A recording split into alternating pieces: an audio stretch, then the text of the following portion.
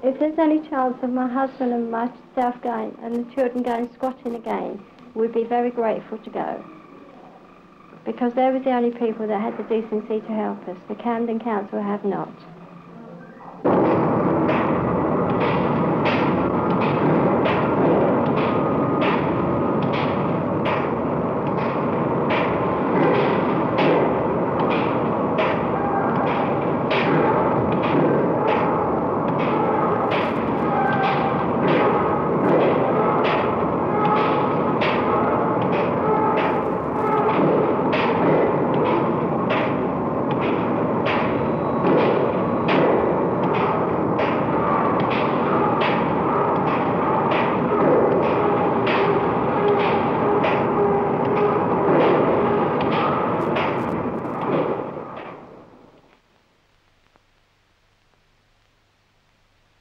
Authorities in this country, both central and local, have failed absolutely to solve the housing situation. The situation still gets worse.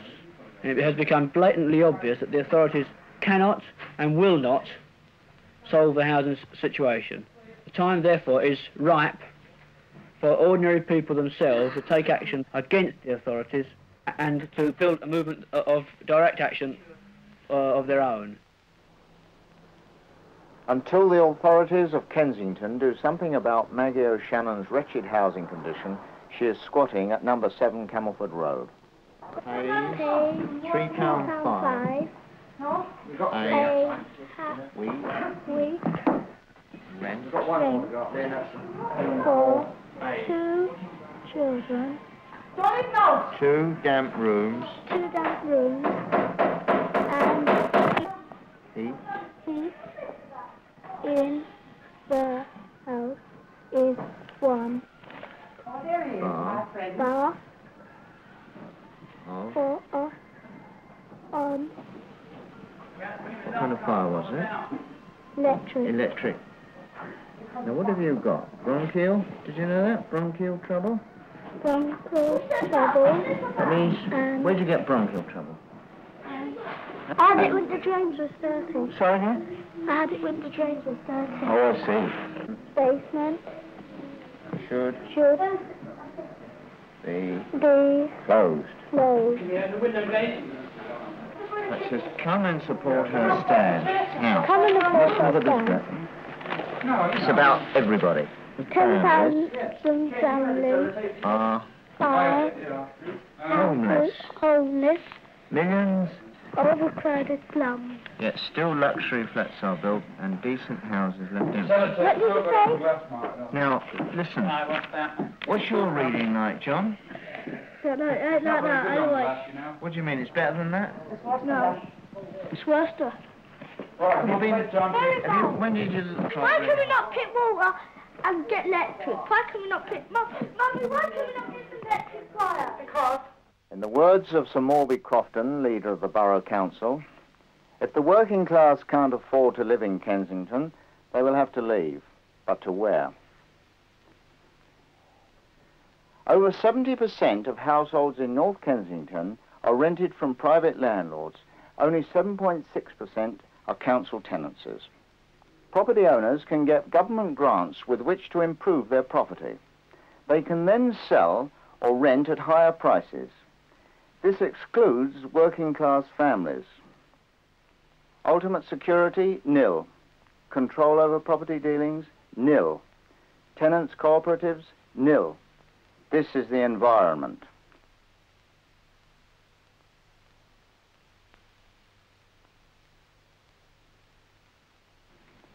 This is the world of hidden speculation. A typical example 1 to 9 Colville Gardens. A few years ago, over 200 families lived there. Now that it is valued at £120,000, it is almost empty. The landlord will have bought out or harassed out the tenants to get a vacant possession. Landlords can give furnished tenants one month's notice to get out in order to sell their property. This house has been empty for the past nine months in the street. It's in perfectly good condition, and I don't see why that it should be left empty. Today, that there's people, a lot of people, in the same condition as me. Uh, even maybe worse off than what I am because they're, they're more overcrowded. Now, I've got a child, of, a little boy of ten and a half, and a girl of nine and a half. In, in, one, in the one bed. And if that isn't overcrowded, I don't know what um, is. And on top of that, there's no comforts down there.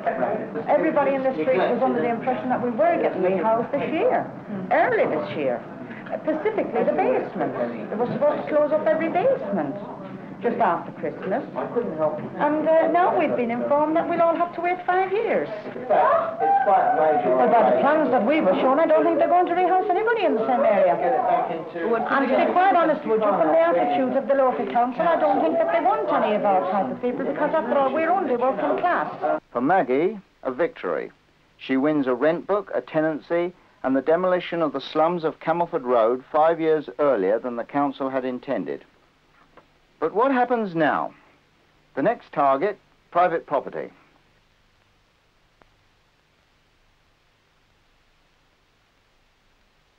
Two families, the Lees and the Lewises, squatted in 43 Artesian Road. This house was bought by Oscanini Enterprises nine years ago and kept empty ever since. The property value has now increased. After two weeks, the families squatting in the house were evicted by the landlord, helped by the police. The force of law was used to aid property rackets. The house is empty again. The windows boarded up. The profit for Oscanini Enterprises increases. In case you're wondering why we hardly occupy the upstairs, we have got the downstairs barricaded, but if the police uh, decide to come in, as they did yesterday morning, well, they can smash their way through barricades like that, but they can't smash their way through the barricade the stairs because these are very heavy. But if the policies of one of the meanest boroughs in London is inadequate, what of the borough of Ilford? There, development means the demolition of over 900 good houses to provide council office space and five multi-storey car parks. So grandiose is the scheme that planning permission has not yet been granted, and there is no guarantee that the council can afford to complete or even start the project. Although 2,000 complaints have been lodged, houses are already being left empty in preparation for the 1978 demolition. These are houses that could mean homes for those in the hostels and slums of the East End. People who come to uh, volunteer to come forward and act as guards, which we will need because if we are attacked, we will need to defend every window upstairs. We need people, uh, there are several people in the house as well as the family until we can get other people here. We are now embarked upon a campaign of pressure upon the Redbridge District Council to compel them to give these families rent books, to allow these families to stay. And one of the things we shall certainly be doing, if there is any attempt to evict these families, if they get themselves eventually a court order and ask the police to enforce it and try to evict these families, then there will be immediately a massive demonstration as big as we can possibly make it, and by that I mean leaving cars parked across the high street. And we shall have the names and addresses and phone numbers of every councillor and every official, and we will have the key points of Ilford picked out and well, we won't, I won't have to tell you what we'll do. You can guess the sort of things that we will be doing. But we're going to make it absolutely clear that we will do anything necessary to ensure that these families are kept in here. We could probably bring an action against the police for forcible entry. On June the 2nd, the Home Office stated the occupation of private property without permission is not in itself a criminal offence. February the 26th, Olive and Ricky Mercer squatted in 81 Cortland Avenue. On March the 20th, they were illegally evicted. This is Barry Quartermain, who, with his professional bailiffs, carried out illegal evictions on the instructions from Redbridge Borough Council.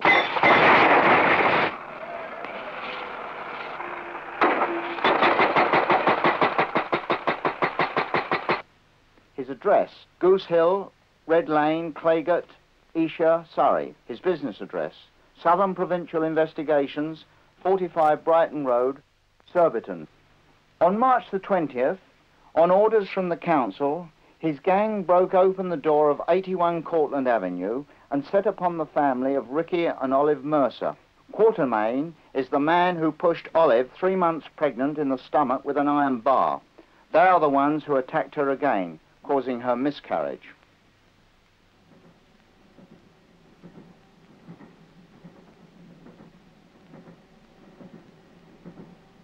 On the 21st of April, another family, the Beresfords, were evicted from Grosvenor Road, Ilford. My husband and I jumped out and we heard footsteps running up the stairs and a voice saying, take the top rooms first. About eight men burst into our bedroom and told us to get out as we was being evicted. We could hear sounds from the children's bedroom and some of the children were crying and men was in there chucking out furniture already. I had to go downstairs to get the baby's coat and I was told to hurry up and get out the fucking way as I was a nuisance. I took the coat upstairs to the woman police sergeant who was dressing the children and she finished dressing the children and she took them downstairs to a van and locked them in and then she came back for me and frog, me marched, frog marched me down the stairs with six men behind me ready to hurt me if um, I offered resistance.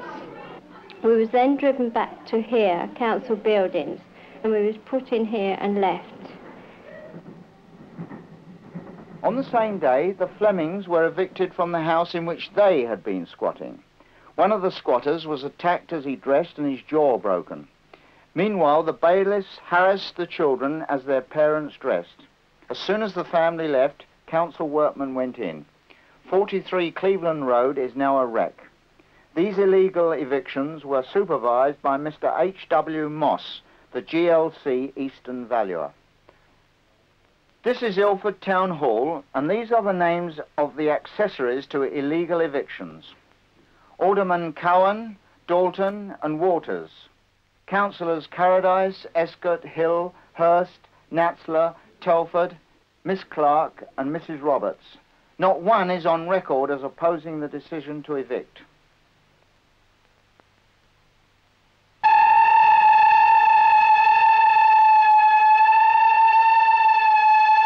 A councillor Young was interrupted by Alderman Cowan who said that we was not fit to live amongst decent human beings as we needed to go back to council buildings to be rehabilitated so that we could live amongst decent human beings. Mr. H.W. Moss was acting under instructions from Mr. Kenneth Blessy, Chief Valuer and Estate Agents at County Hall, who was acting under instructions from Mr. Roland Freeman, Chairman of the GLC Finance Committee. Under the cloak of authority, all can say, I am not responsible.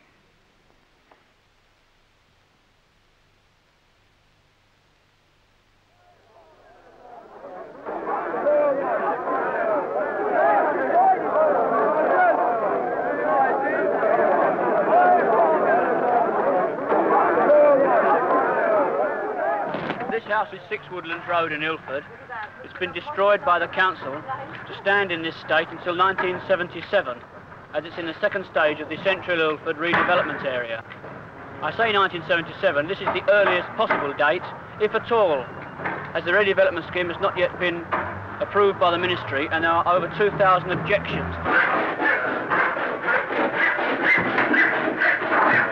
The scheme involves the extension of the council offices, the building of shops, the building of five multi-storey car parks and other such social amenities like this, for which we have to pay the price of destruction of over 900 houses, many of them remaining in this state for eight or nine or ten years. This is our answer to the council's eviction of the 21st of April. We will continue to repair all 36 of the wrecked houses throughout the dozen or so rows in the Ilford Central area.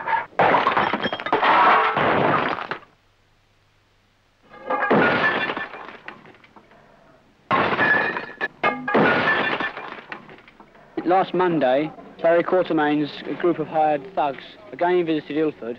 Most of us were out at the time and they gained access and started to evict the Flemings. Strangely enough and happily enough on this occasion, the police said they were not going to allow the eviction to proceed without a court order.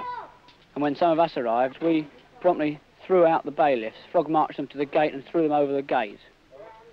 And when Mr. Quartermain came back from the town hall, having received further instructions, a scuffle developed between himself and me, during which he broke my glasses and I gave him a black eye.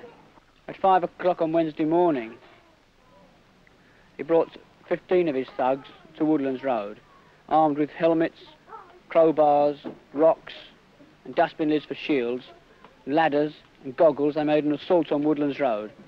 They then came here for another assault on this house. And when they started to throw rocks through the front room, win- front room upstairs windows, we threw them back. And we gave, once again, better than we got. And all in all that morning, Mr. Quartermain's mob were, for the first time, unsuccessful. They took a hammering. These evictions by council and Quartermain were absolutely and entirely illegal. A court order is necessary to evict people, even squatters. This is laid down quite clearly in the Forcible Entry Act of 1381.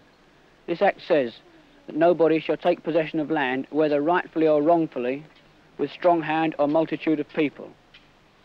The fact that anybody may have a just claim to land is absolutely irrelevant.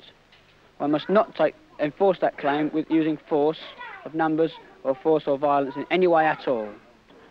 Our idea is propaganda by deed. We're hoping to show that small groups can take on the authorities and win conclusively despite all odds. Having done this, the squatters groups will spread, direct action groups will spread. Groups which are trying to take power away from the authorities in small ways will spread all over the place. And these groups, of course, will liaise and coordinate with each other. And, you know, a situation of dual power almost uh, starts to develop. And if people try this, they'll realise that the whole system is stacked against them. All the odds are against them, and that um, it's not just a question of housing, it's a question of the system as a whole. And perhaps they should therefore get together with building workers and take control of the building industry. Squatting is the start of this.